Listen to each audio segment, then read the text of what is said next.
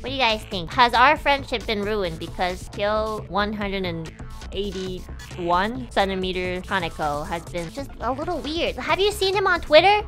He's been changing his icon like once every week. You know who changes their icons once every week? The boys on the Instagram.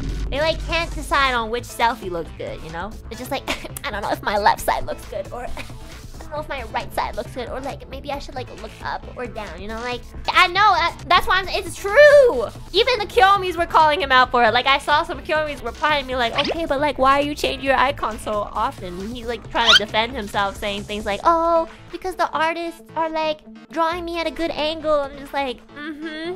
What a boy is. Okay, well, let's see. On Reddit, it says, the first three things are confident, very confident, and extremely confident. Once you have located that, you can move on to how attractive they are followed by, their experience, or the number of partners they are lying about. Oh, oh my god. It literally just kicked me out. Excuse me, I am over 18. I'm just short.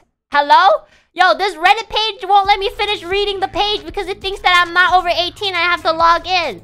I don't remember my Reddit account. Oh my god, it literally just blurred the entire... Okay, so never mind that. You know what? Let's go to Quora. Okay, this is what it says. Asshole boy who is into strictly sexual relationships. He will lead a girl on and let her down. Then apologize only to ask for pics once the girl has welcomed him back into her trust. Is that true, chat? Is that true? Boys like this will pretend to genuinely care about people, but always fail to prove the supposed affection. Never makes plans because he has to hang out on his terms. oh my god. He literally just ditched the stream right now, which could be the most whimsical of times. And if the girl rejects those plans because they have a legitimate reason for not being able to hang out, he will get pissed. However, if plans are made, he will bail on them without a second thought. It's adding up. Where is he?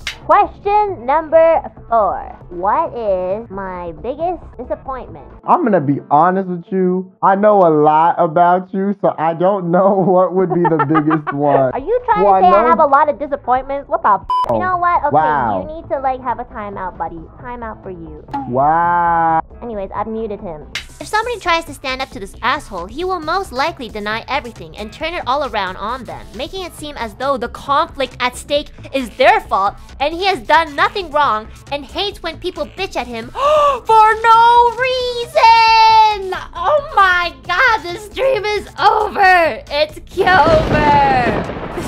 Loki, this. I feel like this was kind of Kyo from the start.